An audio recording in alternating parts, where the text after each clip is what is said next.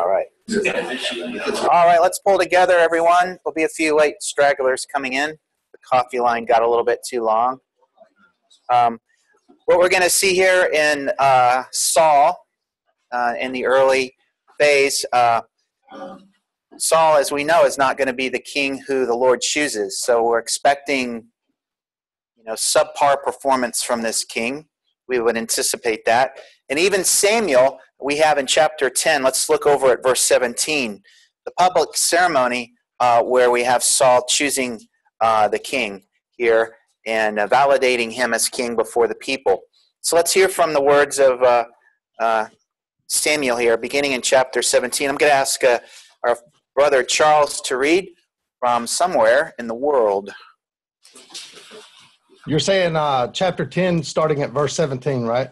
Yeah, and down through verse 26. Okay, sir. Therefore, Samuel called the people together to the Lord at Mizpah.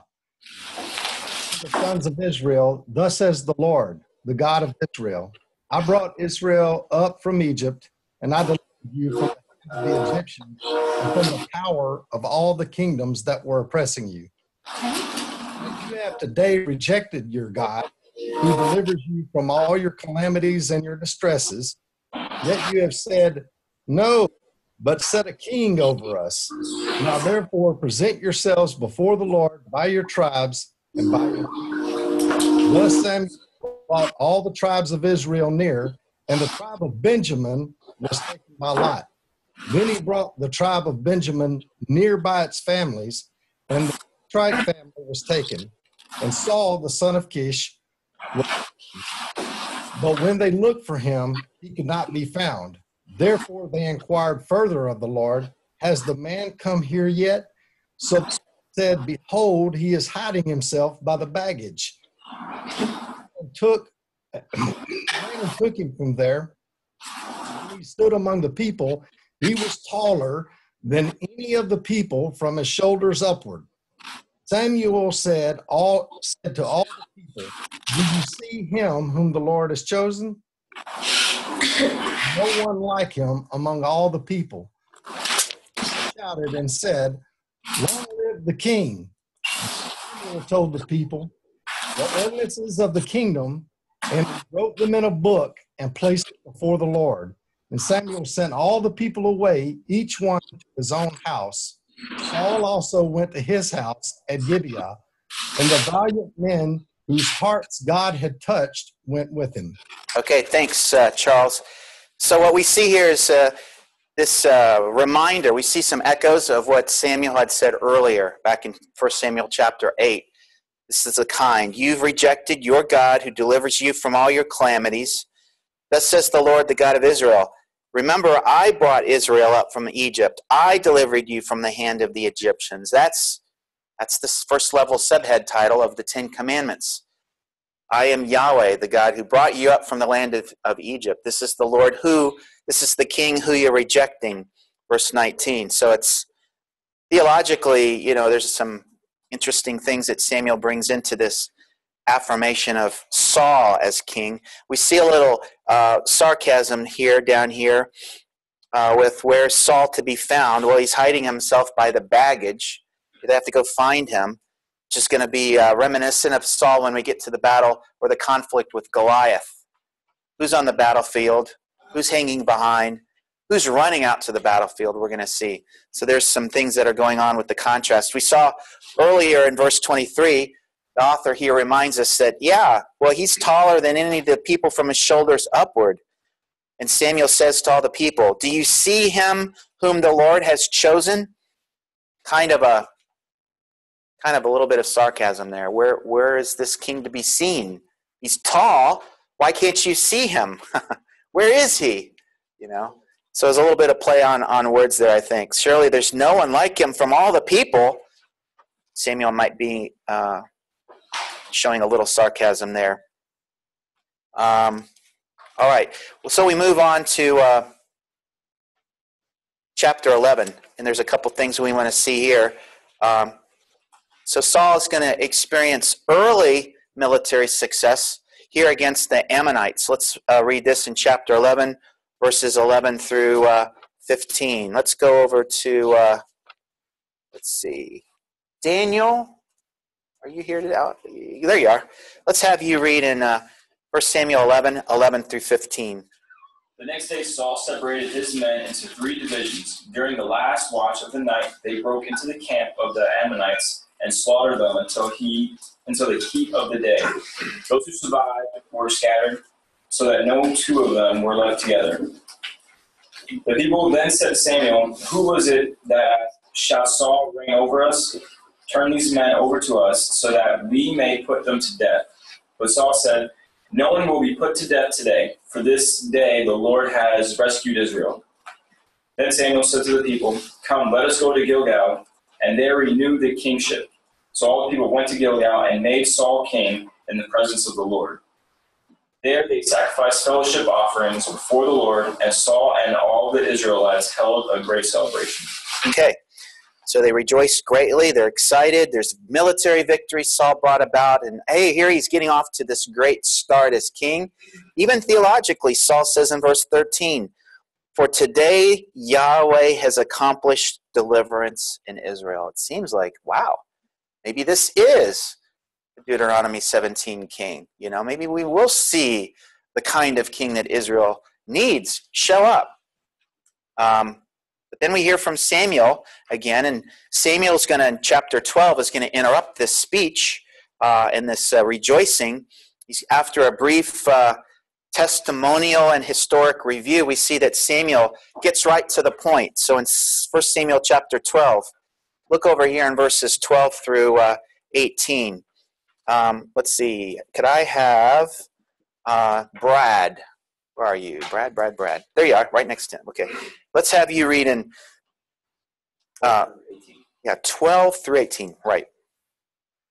You saw that Nahash, the king of the Ammonites, came against you. You said to me, No way king shall reign over us when the Lord, when the Lord the God is your king. And now behold, the king whom you, whom you have chosen for whom you have asked, behold, the Lord has set a king over you. If you will fear the Lord and serve him and obey his voice and not rebel against the commandment of the Lord, and if both of you and the king who reigns over you will follow the Lord your God, it will be well. But if you will not obey the voice of the Lord, or rebel against the commandment of the Lord, then the hand of the Lord will be against you and your king.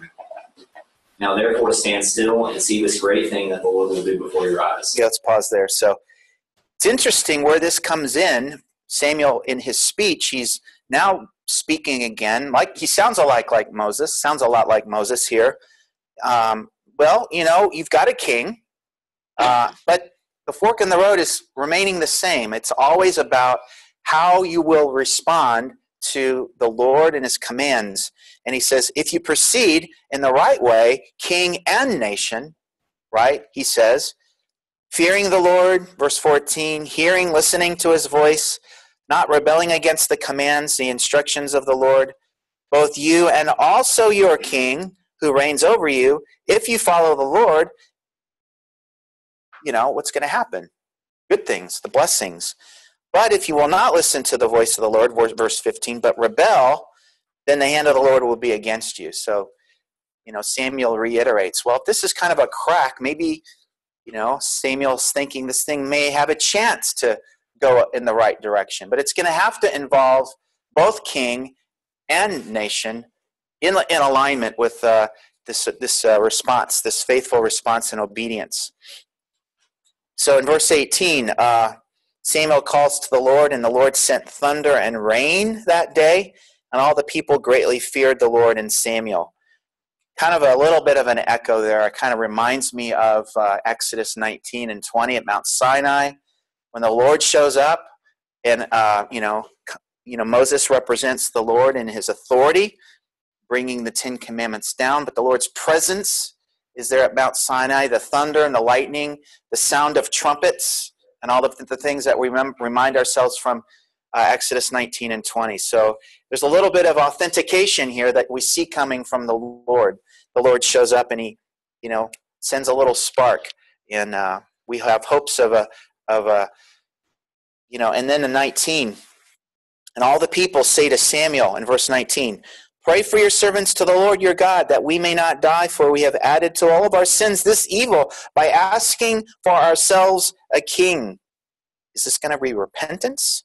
And Samuel said to the people, Do not fear, you have committed all this evil. Yet do not turn aside from following the Lord, but serve the Lord with all your heart. And we keep going back to uh, Deuteronomy. Deuteronomy chapter 6, right? The Shema. Hear, O Israel, the Lord is our God, the Lord alone. Love the Lord your God with all your heart, right? It's a singularity of heart. And so this is good. We're seeing a little bit of a renewal. This call for the singularity of allegiance to one king is coming from Samuel and hopefully from the people. Verse 21 Do not turn aside, for then you would go after futile things which cannot profit or deliver because they are futile. For the Lord will not abandon his people on account of his great name, reputation, because the Lord has been pleased to make you a people for himself. Boy, this is really refreshing. It goes all the way back to the uh, initial formative years uh, where the Lord chooses his people. They're young, they're just a child out of Egypt, and all of the all of the things that were declared. And then finally, in verse 24, Samuel calls for a, a heart with feet, this idea of a heart with feet. Only fear the Lord and serve him in truth with all of your heart, for consider what great things he has done for you. So it's my famous picture we always come back to. You'll see it showing up in a lot of different places, but the picture of authentic faith, you see Moses, and in this case, Samuel, like Moses, is speaking for the faith and the obedience the combination of faith and obedience equals what is true with regards to a heart that's uh, authentic before the Lord in the covenant relationship. All right, so we move on. Here's our deep thought picture. Yeah. It's a funny thing that you would expect them to react this way because their food source for the next year just got wiped out. Like, it wasn't just they got a thunderstorm that day. He says, Isn't today the wheat harvest? and he sends hail and rain, which would make the wheat wet. You know, they've harvested, they're putting it out to dry, and that's their food source, their money source for the next year. It rains and hails on it, it's going to be done. Mm-hmm. And then he brings this speech to them. Huh. Like, he got them when they're hungry. They're like thinking the next year's like bumper crop, if you will, or any food source. That So he puts them in the wilderness in a way, huh? Got to have to be dependent on the Lord. It's a funny thing. He, asked them a weird question. Isn't it wheat harvest today? Okay. No. Well, that's interesting. I'll have to go back and look at that. Where's? The reference to the wheat harvest? Is it just above here? 17. Oh, yeah. Wheat harvest? That's a, that's a weird question to ask that day. Like, he's talking, talking, and he's like, a reminder, isn't it wheat harvest today? Hmm. Uh, it's like Yeah. a sidetracked question if you Yeah. about it, but not really. Uh, he sends this Yeah. rainstorm to ruin the crop. Okay. Yeah. I'm going to have You to. wouldn't, you wouldn't have reacted that way, would you? You know, like, No, I like your point. You know, I agree with your point. It's It really hurt. You know, I would have been. Sorry, what chapter and verse was that? well, he's in the chapter 12, verse 17, where we were uh, talking about Samuel's words in charge. He's calling for them to be, you know, faithful and obedient to, to respond to the Lord with the proper heart. You, Yeah. destroyed your crop. and even and you might be onto something because you know I've, I mentioned earlier that the whole focus on the fertility gods of the ancient world, like Baal. So if they're depending on other gods for the bumper crop that they hope to have, now this is a call. Well, let me let me show you who's boss with regards to provision. I'll take out your crops, but if you worship me, you're going to see the bounty and blessing come from other ways and, and in miraculous ways, perhaps. So that's interesting. Okay, so this is the deep thought picture. Everybody pause and reflect. Take it all in. There it is. Everybody see it? See it? Anybody want to go out on a limb? Weston? You're perplexed. First, Samuel, of course. Come on. You remember this from, um, and there's Saul. Saul. That's Saul, yeah for Samuel. And uh, the heart condition. So you, he's the we say the I say at least the no-hearted king. We're going to have the the kings during the united monarchy. Each will reign for forty years. Saul, David, and Solomon. And um, I would argue, as we'll see in the text, each will be evaluated based on the condition or quality of their heart. Not to be too mean to Saul, but just to kind of have it line up equally with David, the wholehearted king, and Solomon, we'll see, will be the half hearted king. So you've got the full range with these first three kings during the United Kingdom. So Saul is Israel's no hearted king. And we say that because, in contrast, we're going to see that the, the Lord will be seeking a man after his own heart when he finds David. Israel's next king after Saul will be a wholehearted king. So let's move over to chapter 13. After Samuel's addressed, we continue to see skirmishes with the Philistines in 13, chapter 8. We see a little bit of Saul's spiritual heart or his spiritual condition revealed in some of the details of how he handles himself in the situation. So in chapter 13, starting in verse 8, I'll read this one. Now he waited seven days according to the appointed time set by Samuel but Samuel did not come to Gilgal, and the other people were scattering from him. So Saul said, Bring to me then the burnt offering and the peace offerings. And he offered the burnt offering. And it came about as soon as he finished offering the burnt offering that, behold, Samuel came. And Saul went out to meet him and to greet him. But Samuel said, What have you done? Saul says, Well, because I saw the people were scattering from me, and uh, that you did not come with the, within the appointed days, that, that the Philistines were assembling at Michmash, and therefore I said, Now the Philistines come down against me at Gilgal, and I have not asked for the favor of the Lord. So I forced myself and offered the burnt offering.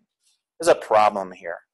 Um, Samuel says to Saul in verse 13, You've acted foolishly You've not kept the commandment of the Lord your God, which he had commanded you, for now the Lord would have established your kingdom over Israel forever.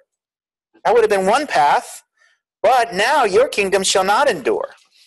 The Lord has sought out for himself a man after his own heart, and the Lord has appointed him as ruler over his people, because you have not kept what the Lord has commanded you.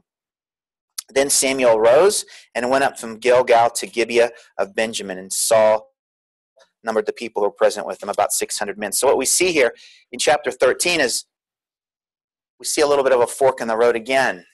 So, now the, the Lord is kind of be redirecting away from Saul, and we we've got this focus now on uh, the Lord going to find a man after his own heart. So, that's a little bit of a switch there. If you're into military strategy, this will be on the final exam, this chart, in all of its detail. I'm just kidding. Here's the battle plan for the famous Battle of Michmash. So Saul's leadership is going to be found lacking in this particular battle.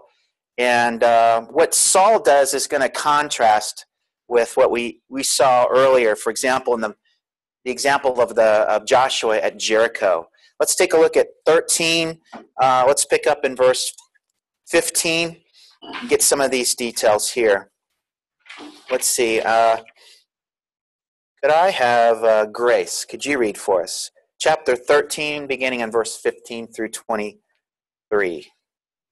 Then Samuel arose and went up from Gilgal to Gibeah of Benjamin.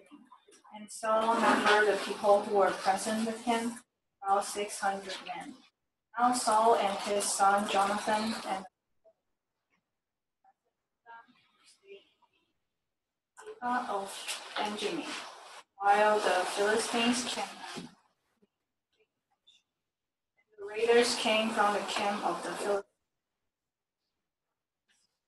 One company turned toward Ophrah, to the land of Shual, and another company turned toward Bethhoron. Another company turned toward the valley of Now no blacksmith could be found in all the land of Israel, for the Philistines. Otherwise, the Hebrews will make swords or spears. So all Israel went down to the Philistines, each to sharpen his plowshare, his mattock, his axe, and his. Okay, so you can just pause there. It's just showing us how, you know, Saul's, you know, over the military operation, but his a good portion of his soldiers are, are going to the battlefield ill prepared. Uh, and in contrast, over here in chapter 14, look at verse 1 and 2. Uh, we see in contrast, where's Saul, but where's his son Jonathan? So now the day came about when that Jonathan, the son of Saul, said to the young man, man who was carrying his armor, Come, let us cross over to the Philistines' garrison that is on yonder side. But he did not tell his father. And Saul was staying in the outskirts of Gibeah under the pomegranate tree, which is in Migron. And uh, the people who were there with him were about 600 men. So Saul's under, resting under a pomegranate tree in Gibeah. Remember, that's the tall town or the tall place. In contrast, we find Jonathan and his armor bearer rising to action with correct th- theology. In chapter 14, we see that in verse 6. Then Jonathan said to the young man, man who was carrying his armor, Come, let us cross over to the garrison of the uncircumcised. Perhaps the Lord will work for us. For the Lord is not restrained to save by many or by few. Kind of a echo of uh, Gideon, you know, being his forces being whittled down, and the Lord still brings about the, the military victory. It doesn't matter how many soldiers are on the battlefield, even. So, you know, Jonathan, in contrast here to Saul, Jonathan is kind of an anticipation of David. Um, it's not surprising that they're going to become good friends here in a bit and have a lot of spiritual things in common with regards to knowing the Lord. Uh, and it's not going to be long before Saul will be left behind on the battlefield. And we're going to see Saul behind, but yet another one like Jonathan is going to come up. Uh, Israel's true king is going to run out on the battlefield with correct theology, just like we see here in this episode with Jonathan. So we move ahead. Uh, here's the pass at Michmash. It's a nice thin, you know, ravine, and the conflict continues. Jonathan continues with his correct theology, chapter 14, verse 12. So the men of the garrison hailed Jonathan his armor bearer and said, Come up to us and we will tell you something. And Jonathan said to his armor bearer, Come up after me, for Yahweh has given them into the hands of Israel.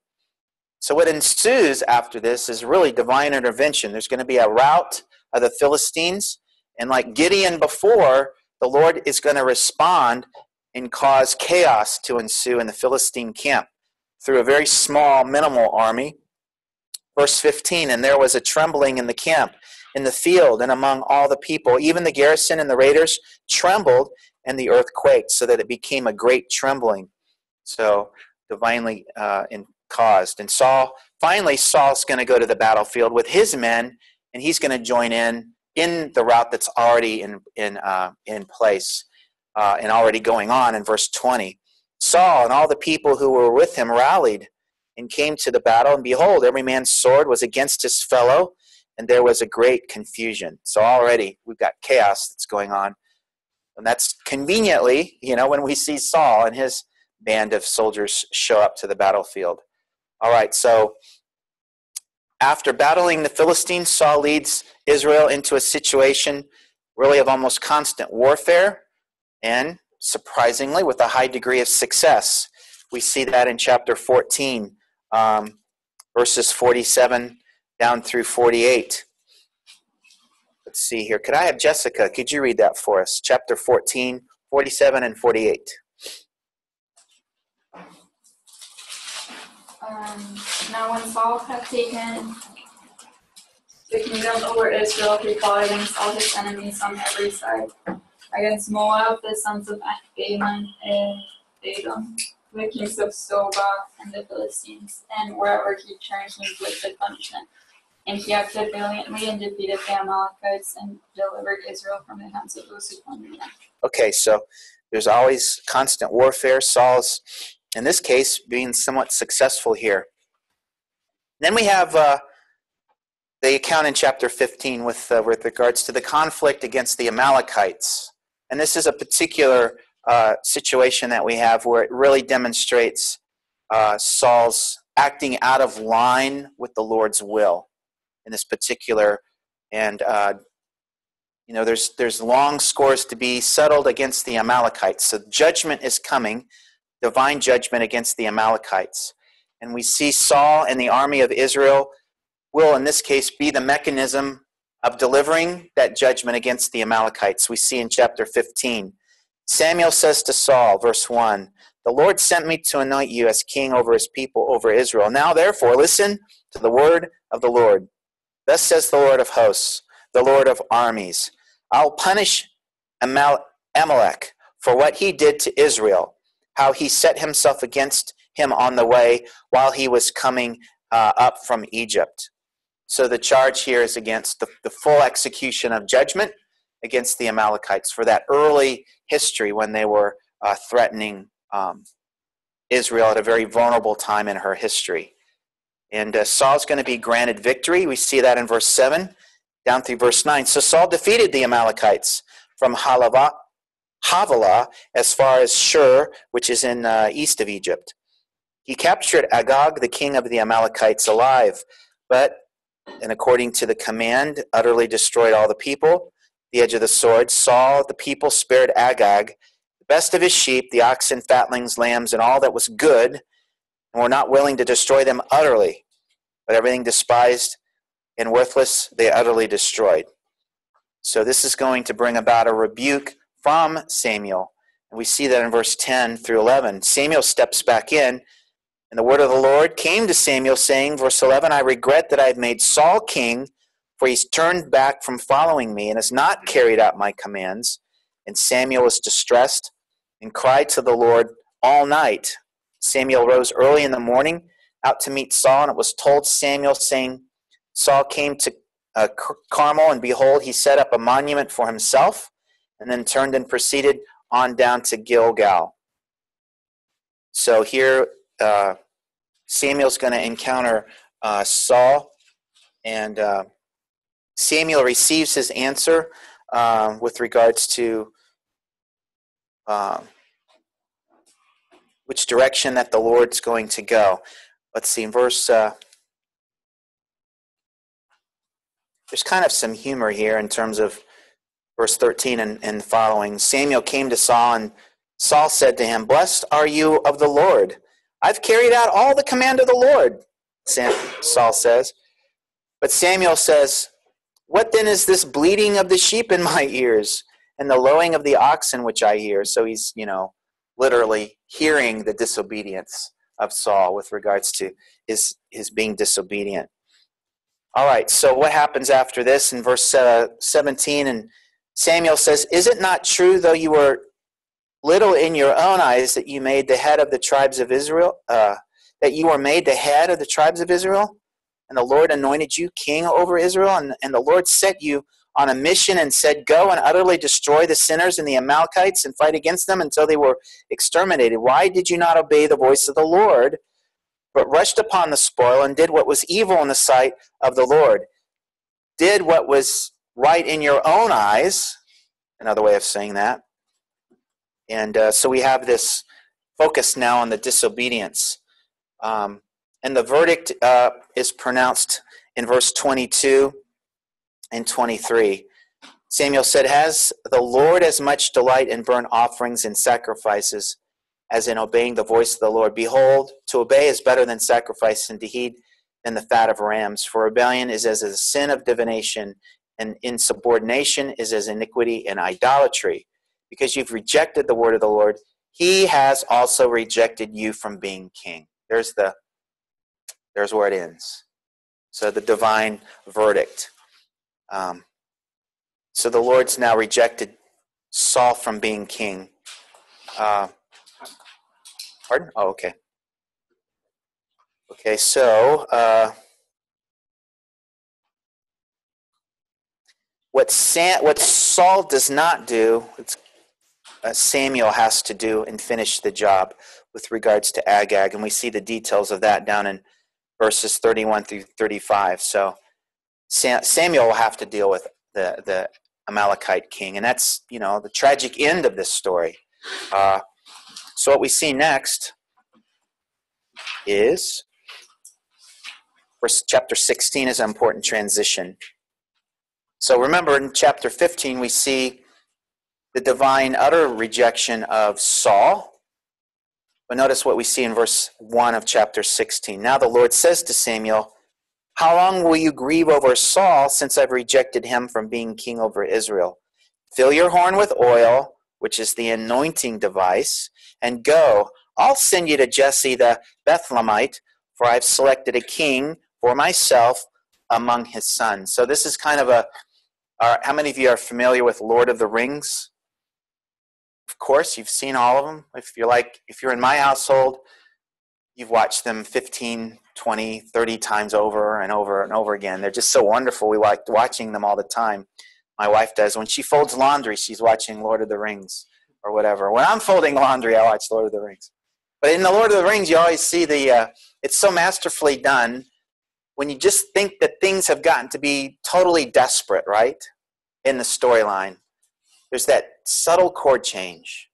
You know what I'm talking about? Just that subtle chord change. It's from a minor to a major key, you know, it happens. And you know when you hear the chord change, something's going to happen that's going to be a different direction. I think that's what, if there was music playing behind God's word, we'd hear the chord change right here in chapter 16, verse 1. So let's, uh, so we read, read that. Now, I asked the question, it's interesting. We hear, uh, and ref, he, he refers to, I'm going to send you to Jesse the Bethlehemite. So we all know that that's a reference to the city of Bethlehem. Why Bethlehem? Right? That's an interesting question. The Lord specifically sends him to a particular person, Jesse, in the city of Bethlehem. Now, it's good that we see the beginnings here of something good. The Lord is obviously the one who's about an active here. I'm going to go select for myself a king. Now it's my turn to choose. So that's good. Now we're in line with uh, Deuteronomy 17. That's prescription number one, right, from Moses. But can we say more? I, I, I kind of like this part. There we go. First Baptist Church of Bethlehem, right there. There's more to be said about Bethlehem. Why would he go to Bethlehem? So at that time, I'll argue this Bethlehem represents a small town with a big heart. So I'm deliberately talking about Bethlehem in terms of tall, small, and heart for the following reasons. So this will preach, all of you out there. You can use this on Sunday if you want to. it was a small town, Bethlehem. Yeah. Why would you think that um, uh, the Lord would come to him and ask uh, Samuel why he's grieving over Saul not being king anymore? Once he pronounced judgment on, has seen the wickedness of Saul's reign, was constant military combat, heartless ruler. did, well, obey the Lord's calling. There were. Grieving. Yeah, there was that moment though when Samuel, you know, gave his speech, his address, when there seemed to be indications of him encouraging the people to, you know, with king, people and king together, being in response, right response to the Lord, going down the right path. So he might be a little bit of grieving over that. I mean, in other words, you think it would be that people rejecting him since he's the one that cast the lots to, you know, to a point? what is Samuel grieving over? Yeah, Right. That's my question. Okay. Well, that's a good question. Guy get rejected by God. Clear house. Yeah, but you, you know, I don't know. I have to think about that. It's a great question. Um, David, David's going to grieve uh, the death of Saul. You know, and look at, I mean, Saul was out. We'll see. Saul's going to be out to kill him. You know, eventually, throwing spears and you know, David had his chances to even kill Saul, but he doesn't. You know, at the end of his tragic death, Saul and you know his son, you know, on the battlefield, David's going to write a song of grief over the king. You, you, when a king dies, you grieve, I, I guess, um, at foundation. But there's probably more to be said. So um, I'll, I'll argue. Now we're back to Bethlehem, a small town with a big heart. So it's a small town that had a had a, had a representation of the faithful remnant. That's what I want us to see. And how do we know that the faithful remnant in Bethlehem? Any any anybody want to take a gander? Where did Ruth and Naomi, right? The story of Ruth and Naomi. So so Naomi's from Bethlehem, and when uh, Ruth and Naomi are desperate desperate situation, having lost all of their husbands, and a, a household on the verge of destruction, the household of Elimelech, Naomi's husband, what faithful community shows up to provide for two widows and produces a faithful Boaz who steps in on the scene to enact, and knowing his Old Testament, the Levirate marriage law and the kinsman redeemer provision for Naomi. This all comes from a faithful community called Bethlehem. So it's I'll argue that this faithful community of Bethlehem represents even in the midst of the dark days of Judges, that 400 year period, somewhere in the midst of all that is the context for the story of Ruth. And everything that goes on in that story, that short four chapters called the book of Ruth, shows off, I would argue, this faithful remnant. This is the community that produces not only Boaz, but now we're meeting up with them again later in history. Now they're, the, now they're producing this boy David. This boy David is going to come from this faithful community as well. This small town during the time of Jesus, when Jesus was born, this is the same town that's going to eventually produce the Messiah. The Messiah will be born here. Um, at the time of Jesus' birth, Bethlehem probably had about a thousand people in it. And at the time of the story of Ruth, probably more like three to 600 people, very small. Um, but out of this small town uh, comes the genealogy of the Messiah. First to King David, and then if you read Matthew chapter 1 and the genealogy that comes in the Gospel of Matthew, you go from Abraham to David and David to the exile, and then from the exile to the Messiah. There's an intentionality here. So I want to also argue that um, out of this faithful remnant, this is the community that produces King David, the boy King David. Somebody taught the boy David the right theology about God. He grew up in this small community. This is the boy, the small boy, not the tall, but the small boy, David, who knew the right theology about who is going to win the battle today if I run out on that battlefield. Right? When he meets up with Goliath, the tall, the small, when the small encounters the tall, David knows his right theology. It's the Lord that's going to win the battle for me today. And we're going to see that uh, just around the corner here when we get to the account with the, the giant uh, named Goliath. My point is, David's learning this theology in this small covenant community in Bethlehem, which not only included his mom and dad, but also the entire community. So I picture in a church like this, and this is an application for all of us pastors and you pastors at home.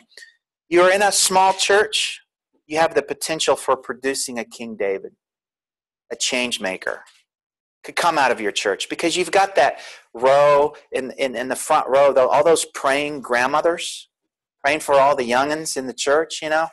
David had that kind of supportive community, I would argue.